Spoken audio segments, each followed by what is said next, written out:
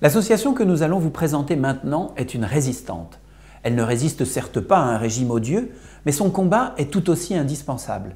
L'abeille machine, en défendant l'apiculture périurbaine, lutte en effet contre la disparition des abeilles et avec elle de 70% de l'agriculture mondiale, dépendante de la pollinisation des plantes par ces insectes.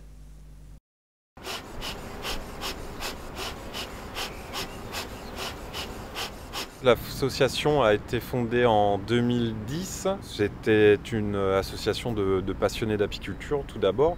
Et puis euh, en fait avec la, proximité des gens euh, que l'on côtoie tous les jours en ville, elle a évolué vers une association qui est plus dirigée vers la pédagogie, euh, la sensibilisation à l'environnement et puis l'animation ludique et pédagogique autour des abeilles et grâce aux abeilles.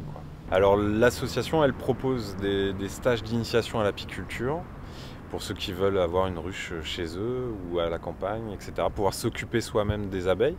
Elle propose aussi des animations en milieu scolaire, périscolaire, en maison de retraite, enfin avec tout public, euh, en lien avec les abeilles et puis l'environnement. C'est un outil euh, d'abord aux gens qui veulent euh, défendre les insectes en général les abeilles en particulier.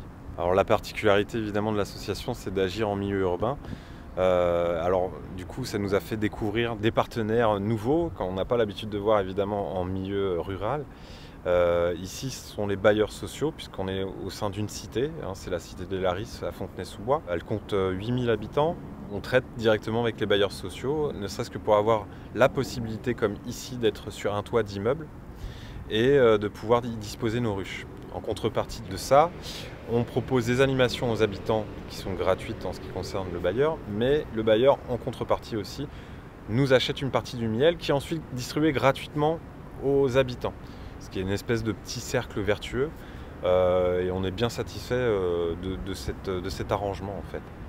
De l'autre côté, euh, ça fait quelques temps qu'on négocie et on a réussi cette année finalement à installer des ruches dans le milieu scolaire, dans un collège, ici le collège Jean Massé, euh, donc dans le quartier des Laris, euh, pour faire un suivi au niveau des élèves, un suivi tout du long de l'année des différents travaux de la ruche et de l'évolution des abeilles au fil du temps. Alors j'invite les associations qui pourraient entendre ce reportage à nous joindre pour échanger et savoir comment est-ce qu'on peut lutter au quotidien très simplement euh, dans nos villes pour défendre les insectes, dans une certaine mesure ceux qui ne sont pas nuisibles à l'homme.